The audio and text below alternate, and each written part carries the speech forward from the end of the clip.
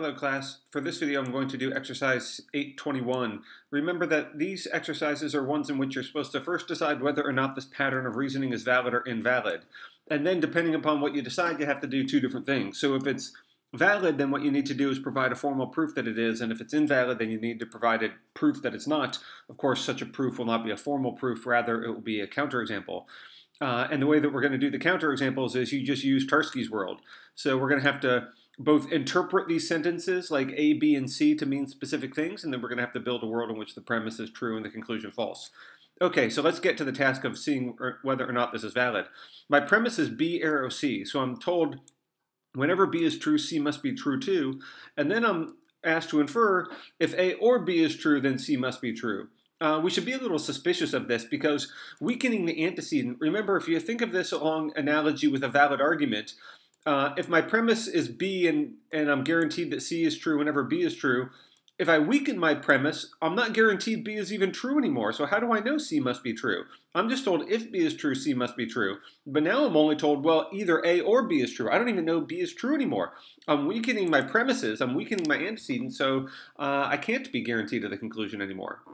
Now, if you can't see that, if you don't see something suspicious here, then what could you do? Well, you could always just do a truth table because this will tell you definitively whether it's valid or not. So here I already put in my premise, B arrow C, and my conclusion, A or B arrow C. Let's just fill this out really fast to see what it looks like. Uh, when is B arrow C going to be false? Just when B is true and C is false. So that's when it fails. Otherwise, it's going to be true. So uh, its truth table looks like this. Now let's compute the truth function for A or B. Well, this is pretty straightforward, just a disjunction. Now our arrow, now there's lots of ways this can fail notice because look at all these t's. So those are liabilities. See, the arrow is going to be true trivially whenever the antecedent is false, but these t's are dangerous. So now we have to make sure C is true. See, whenever C is false, that's going to come out false. So now let's check for validity. Well, this is true and true, but that's true. Here my premise is false, so that's irrelevant. Here they're both, uh, my premise is true, but this is also true. Uh, excuse me, I was looking at the disjunction. That's irrelevant. So I just need to check whenever this is true, that's true. Here it's false, so it doesn't matter. Here the premise is true, but that's true. Aha, here the premise is true, but this is false. We have a problem. It's that, indeed, that single row is the problem because in all these other cases, uh, the argument is not shown to be invalid. So notice this gives us a recipe for telling how we can create a counterexample. We need to make A true, B false, and C false, and we're indeed going to have a counterexample. So how do we do that in Tarski's world? Well, the first thing we need to do is we need to interpret those atomic sentences. A, B, and C, we just need to make up something that we can make true or false in Tarski's world. So I chose cube A to be B and large A to be C. Notice my premise uh, is B arrow C. So that's what um so that's why cube A is B. So this has to be coordinate with my premise. So that A or B, so notice I put tet A in here. That's my that's my atomic letter A.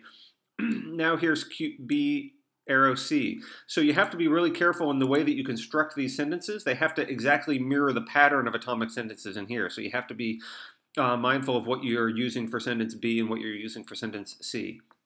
Notice for B and C, when I started my first premise, I chose two properties that are totally independent of each other.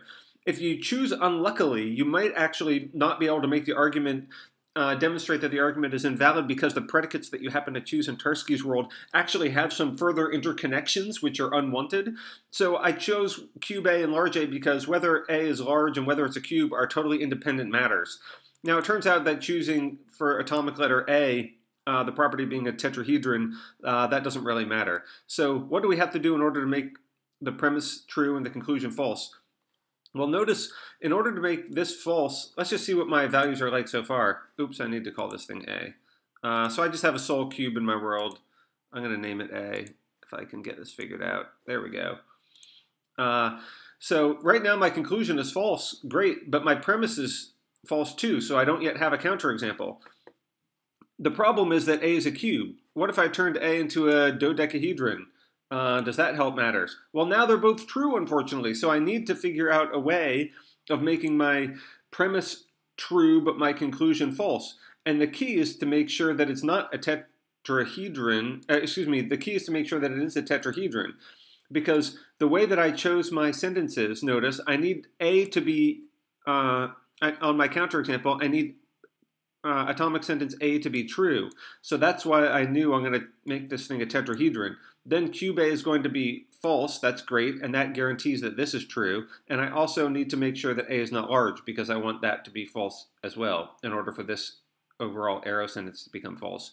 So now I have my counterexample. My premise is true and my conclusion false. And indeed, I could just use Boole to help me construct uh, that counterexample if I couldn't think of it. So now I need to submit both of these two things to uh, Grade Grinder, and then it will tell me if I got everything perfectly right. Okay, thanks.